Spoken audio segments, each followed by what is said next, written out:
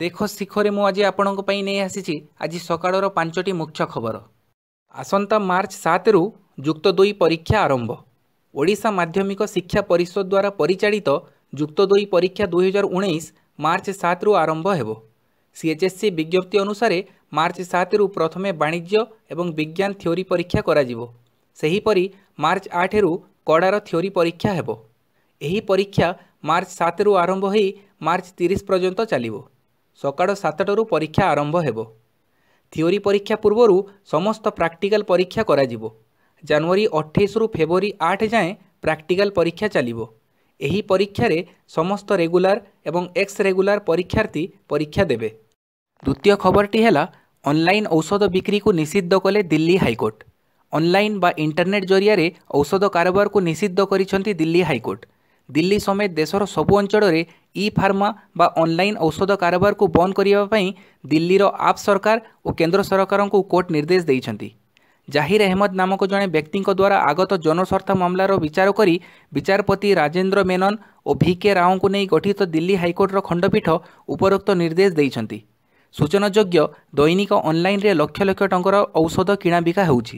ବିନା ଅନୁମତି ଓ ବିନା ଡାକ୍ତରୀ ପରାମର୍ଶରେ ଏହି ବ୍ୟବସାୟ ଚାଲୁଥିଲା ବେଳେ ଏହା ଉପରେ କାହାର ନିୟନ୍ତ୍ରଣ ରହୁନାହିଁ। ଏଥିଯୋଗୁଁ ଲୋକଙ୍କ ଜୀବନ ଉପରେ ବିପଦ ଆଶଙ୍କା ରହିଛି। ଡ୍ରଗ୍ସ ଆଣ୍ଡ କସ୍ମେଟିକ୍ସ ଆକ୍ଟ ଉଣେଇଶହ ଚାଳିଶ ଓ ଫାର୍ମାସି ଆକ୍ଟ ଉଣେଇଶହ ଅଡ଼ଚାଳିଶ ଅଧୀନରେ ମଧ୍ୟ ଅନଲାଇନ୍ ଔଷଧ କାରବାରକୁ ନିଷେଧ କରାଯାଇଛି। ଅନଲାଇନ୍ କାରବାର ବନ୍ଦ କରିବାକୁ drugs controller general of India ସମସ୍ତ ରାଜ୍ୟର ଡ୍ରଗ୍ସ କଣ୍ଟ୍ରୋଲରମାନଙ୍କୁ ଦୁଇହଜାର ପନ୍ଦରରୁ ନିର୍ଦ୍ଦେଶ ଦେଇଛନ୍ତି। ତଥାପି ଏହା ଉପରେ ଅଙ୍କୁଶ ଲାଗିପାରୁନାହିଁ। ଅନଲାଇନ୍ ଔଷଧ କାରବାର ଉପରେ ନିୟନ୍ତ୍ରଣ ପାଇଁ ଗତ ସେପ୍ଟେମ୍ବର ମାସରେ କେନ୍ଦ୍ର ସରକାର ଏକ ଚିଠା ନୀତି ପ୍ରସ୍ତୁତ କରିଛନ୍ତି। ତୃତୀୟ ଖବର ତେଲେଙ୍ଗାନା ମୁଖ୍ୟମନ୍ତ୍ରୀ ଭାବେ ଶପଥ ନେଲେ କେ. ଚନ୍ଦ୍ରଶେଖର ରାଓ। ତେଲେଙ୍ଗାନା ମୁଖ୍ୟମନ୍ତ୍ରୀ ଭାବେ କେ. ଚନ୍ଦ୍ରଶେଖର ରାଓ ଗୁରୁବାର ଶପଥ ଗ୍ରହଣ କରିଛନ୍ତି। ତେଲେଙ୍ଗାନା ରାଷ୍ଟ୍ର ସମିତିର ମୁଖ୍ୟ ଭାବେ ସେ କ୍ରମାଗତ ଦ୍ୱିତୀୟ ଥର ପାଇଁ ତେଲେଙ୍ଗାନା ମୁଖ୍ୟମନ୍ତ୍ରୀ ହୋଇଛନ୍ତି। ସୂଚନା ଅନୁସାରେ ତେଲେଙ୍ଗାନାରେ ଶହେ ଉଣେଇଶଟି ଆସନରୁ ଅଠାଅଶୀଟି ଆସନରେ ଟିଆର୍ଏସ୍ ବିଜୟ ଲାଭ କରିଛି। ରାଜ୍ୟପାଳ ଇ ଏସ୍ ଏଲ୍ ନରସିଂହମ୍ କେସିଆରଙ୍କୁ ପଦ ଓ ଗୋପନୀୟତାର ଶପଥପାଠ କରାଇଛନ୍ତି। ଏହି ଶପଥ ଗ୍ରହଣ ଉତ୍ସବରେ କେ ଚନ୍ଦ୍ରଶେଖର ରାଓଙ୍କ ସହ ମହମ୍ମଦ ମେହମୁଦ ଅଲି ମଧ୍ୟ ଶପଥ ନେଇଛନ୍ତି। ମହମ୍ମଦ କେସିଆରଙ୍କ ପୂର୍ବ ଶାସନ କାଳରେ ଉପମୁଖ୍ୟମନ୍ତ୍ରୀ ଭାବେ କାର୍ଯ୍ୟ କରିଥିଲେ। ବୁଧବାର ବିଧାୟକ ଦଳ ବୈଠକରେ କେସିଆରଙ୍କୁ ଦଳର ମୁଖ୍ୟ ଭାବେ ଚୟନ କରାଯାଇଥିଲା। କ୍ଷମତାକୁ ଆସିଲେ ଚାଷୀ ଋଣ ଛାଡ଼ କରିବ କଂଗ୍ରେସ କହିଲେ ନିରଞ୍ଜନ ପଟ୍ଟନାୟକ। କଂଗ୍ରେସ ଭବନରେ ବୁଧବାର ଦିନ ପିସିସି ଇସ୍ତାହାର କମିଟିର ବୈଠକ ଅନୁଷ୍ଠିତ ହୋଇଯାଇଛି। ଏଥିରେ ପିସିସି ସଭାପତି ନିରଞ୍ଜନ ପଟ୍ଟନାୟକ କହିଛନ୍ତି ଯେ କଂଗ୍ରେସ କ୍ଷମତାକୁ ଆସିଲେ ଚାଷୀଙ୍କ ଋଣ ଛାଡ଼ କରିବ। ଏହା ସହ ସୋଲାର ପମ୍ପ ମଧ୍ୟ ଚାଷୀଙ୍କୁ ଯୋଗାଇ ଦିଆଯିବ। ପାଞ୍ଚ ବର୍ଷ ଲାଗି ଚାଷୀଙ୍କୁ ଆର୍ଥିକ ସହାୟତା ଯୋଗାଇ ଦିଆଯିବ ସହ ରାଜ୍ୟରେ ବାର୍ଦ୍ଧକ୍ୟ ଭତ୍ତାକୁ ତିନିଶହରୁ ଏକ ହଜାରକୁ ବୃଦ୍ଧି କରାଯିବ ବୋଲି ନିରଞ୍ଜନ ପଟ୍ଟନାୟକ ଘୋଷଣା କରିଛନ୍ତି।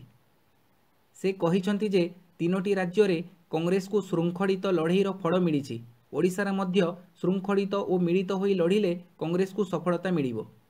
ଆଜି ଅପରାହ୍ନରେ ପିସିସି ଶୃଙ୍ଖଳାଗତ କମିଟିର ବୈଠକ ବସିବ। ଏହି ବୈଠକରେ ଶ୍ରୀକାନ୍ତ ସମ୍ପର୍କରେ ନିଷ୍ପତ୍ତି ନିଆଯାଇପାରେ। ପିସିସି ଶୃଙ୍ଖଳା କମିଟି ବୈଠକରେ ଯାହା ନିଷ୍ପତ୍ତି ନିଆଯିବ ତାହା ଏଆଇସିସିକୁ ଜଣାଇ ଦିଆଯିବ ବୋଲି ଶୃଙ୍ଖଳା କମିଟିର ଆବାହକ କହିଛନ୍ତି।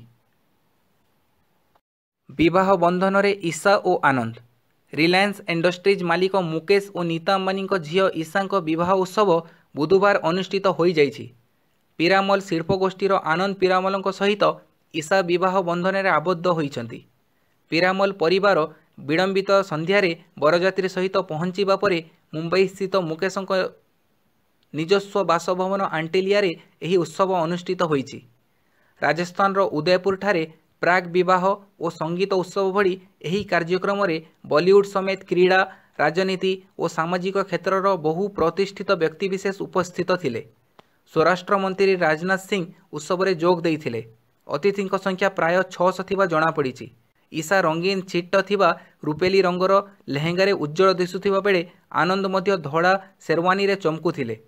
ଆସନ୍ତା ଚଉଦ ଓ ପନ୍ଦର ତାରିଖରେ ଜିଓ ଗାର୍ଡେନ୍ଠାରେ ଦୁଇଟି ଭୋଜି କାର୍ଯ୍ୟକ୍ରମର ରହିଛି। ପ୍ରଥମ ଭୋଜି ଆମ୍ବାନୀ ଓ ପିରାମଲ ପରିବାର ପାଇଁ ଉଦ୍ଦିଷ୍ଟ ଥିଲାବେଳେ ଦ୍ୱିତୀୟଟି ରିଲାଏନ୍ସ ଶିଳ୍ପଗୋଷ୍ଠୀର କର୍ମଚାରୀମାନଙ୍କ ପାଇଁ ଧାର୍ଯ୍ୟ ହୋଇଥିବା ଜଣାପଡ଼ିଛି। ଏହା ଥିଲା ଆଜିର ପାଞ୍ଚଟି ମୁଖ୍ୟ ସମାଚାର। ପ୍ରତିଦିନ ମୁଖ୍ୟ ସମାଚାର ଦେଖିବା ପାଇଁ ଆମ ଚ୍ୟାନେଲକୁ ସବସ୍କ୍ରାଇବ୍ କରନ୍ତୁ ଧନ୍ୟବାଦ